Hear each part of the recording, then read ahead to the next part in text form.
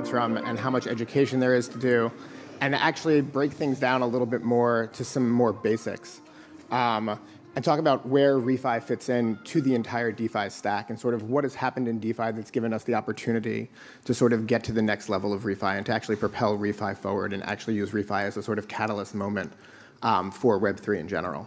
So DeFi in general address, addresses a bunch of um, issues in traditional finance through trustlessness and permissionless with smart contracts. So in the traditional finance world, you sort of have these intermediaries and multiple entities that you have to deal with in order to transact with each other.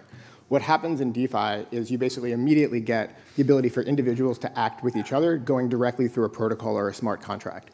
And when you bring that into refi, you sort of get this amazing opportunity to do things much faster, much more efficiently, sort of as everyone on the panel had been talking about earlier. However, the current state of DeFi is a little bit tricky.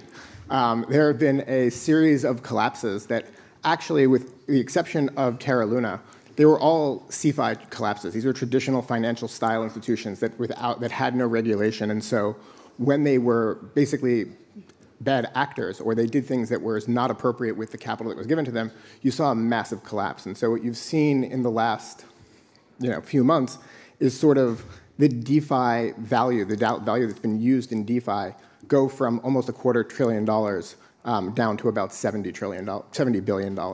And so you've seen this massive decrease in DeFi activity, this massive decrease in DeFi usage. And so it's hard to now see that, okay, what is sort of the next leg up?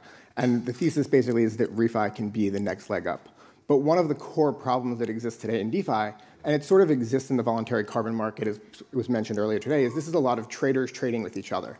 A lot of the value that was brought on chain was brought on chain for crypto native assets. These are assets that were created in crypto land and didn't have a linkage to a real world value. So if you think about Ethereum and Celo tokens and other tokens that are not stable coins, all of these tokens were basically created and are crypto assets and money pumped into them, money poured into them, and they were used in DeFi, but it didn't actually trigger a real world solve.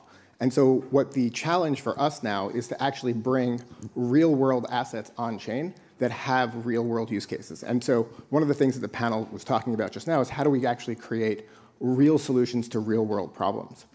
On the other hand, DeFi has built this enormous toolkit that we can actually build on top of. Um, so borrowing and lending platforms, uh, decentralized exchanges, lenders, all of these things that are built out inside of these ecosystems are tools that we can now use and leverage to build up refi and build up the real world asset um, pools in DeFi. So going back into a very interesting question is where did this term refi come from? and what does refi actually mean? And so, at the very basic of it, refi combines regenerative economic based in the real world with decentralized finance.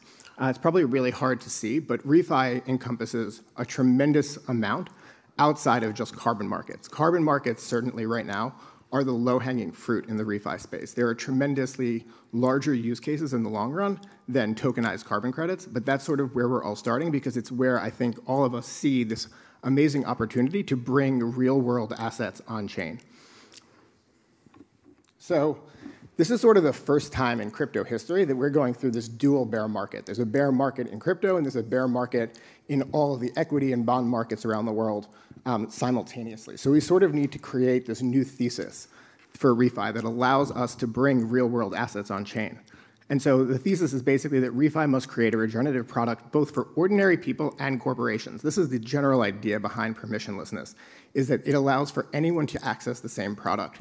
If you look at taking the carbon markets as an example for the moment, if you look at oftentimes what retail buyers get charged for a carbon credit, at the same time, it's oftentimes 200 or 300 times more than what you will see in the wholesale market or when brokers are trading between each other. That's really damaging to the market and creates the scenario where it becomes too expensive for ordinary people to use it or just an unfair scenario. So doing this all in DeFi creates a single use case for everyone that's a unified use case. Um, and so the other thing is that we want whatever this product that we're building to be appealing to institutions and government because it's solving a real world problem. So uh, there's a quote that I really like, which is crypto wins by solving problems that nobody else can solve profitably. Right? Right now, a lot of what DeFi is is the promise of solving problems without actually solving problems. It's not actually creating additional value for the traditional finance world because they don't see the need for it because there is a lot of additional risky assets that are brought on. So they look at the use cases that exist in DeFi today for a lot of these institutional and corporate players, and they just don't see the value in what DeFi is bringing. So what we have to do is prove the value by actually solving a real problem. Um, and carbon is sort of this initial first use case that's really promising. So there are a small but growing number of real-world assets that are com currently coming on chain. You're seeing corporate receivables, you're seeing real estate leases, you're seeing freight invoices, and now we're starting to see carbon in a real way. And we have to basically bring these things on chain in a way that solves a problem. So, for example, MakerDAO just uh, announced that they're bringing US treasuries on chain and they're going to lend against US treasuries.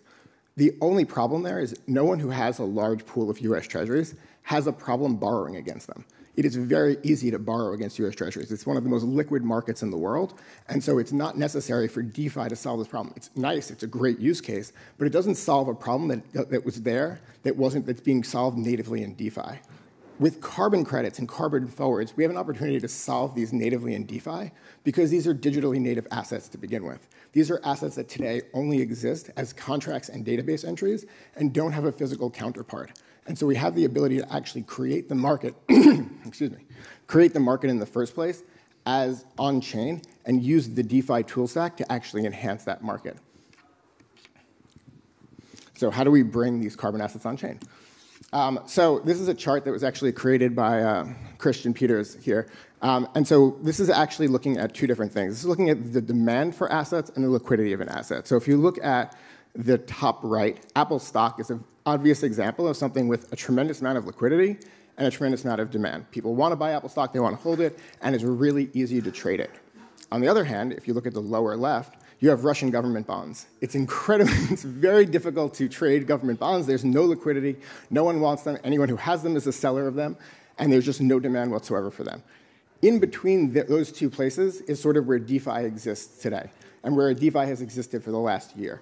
It's, there is some liquidity, there's some demand for the assets. It's looking for use cases in the opportunity. What we have is starting to see, if now if you look at the top, sort of where this tokenization hype train is, we're starting to see a tremendous amount of demand wherever it's being created for on-chain carbon. And what we now have the opportunity to do is to translate that by tokenizing it and getting onto this hype train and doing it properly by basically moving through the real world use case area and creating something that is liquid and highly demanded and so we can actually create a real world solution.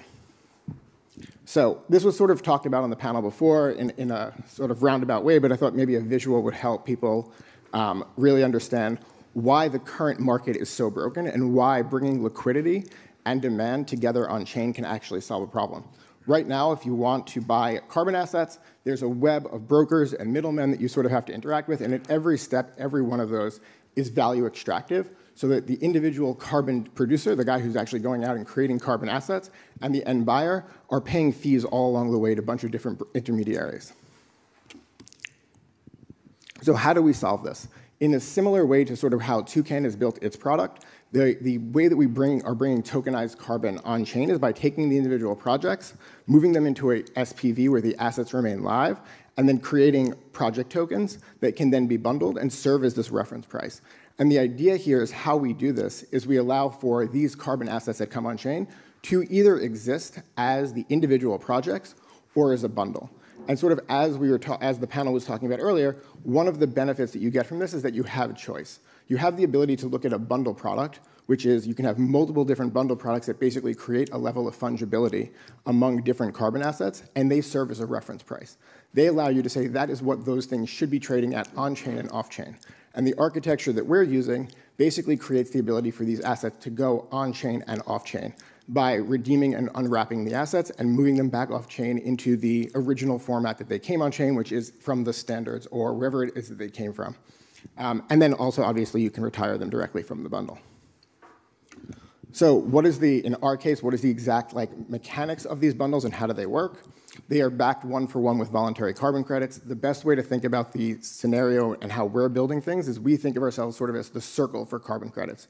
We take carbon credits in, we issue sort of a, think of it as a dry cleaning receipt right, for you when you actually get your carbon credit. And then if you bundle it, you're essentially taking your carbon credit, your dry cleaning receipt, sticking it in a gumball machine, and you're then cranking the gumball machine with the token that you're given back, and you get whatever comes out next. So you have the ability to either keep that exact claim for what you brought on chain or to bundle it to access instant liquidity.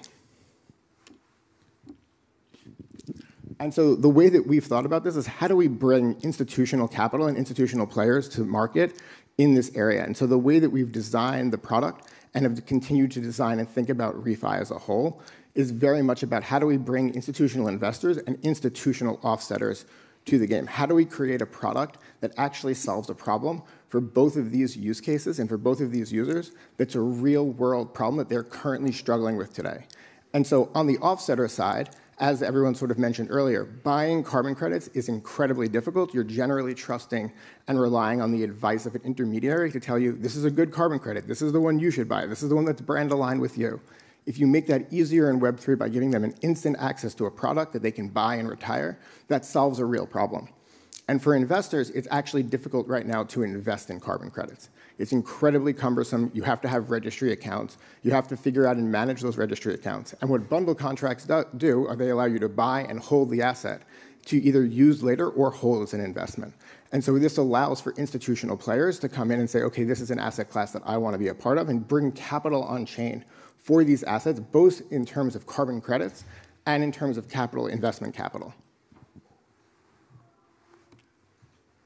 The other thing that we're really focused on is taking carbon uh, forwards and bringing them on chain.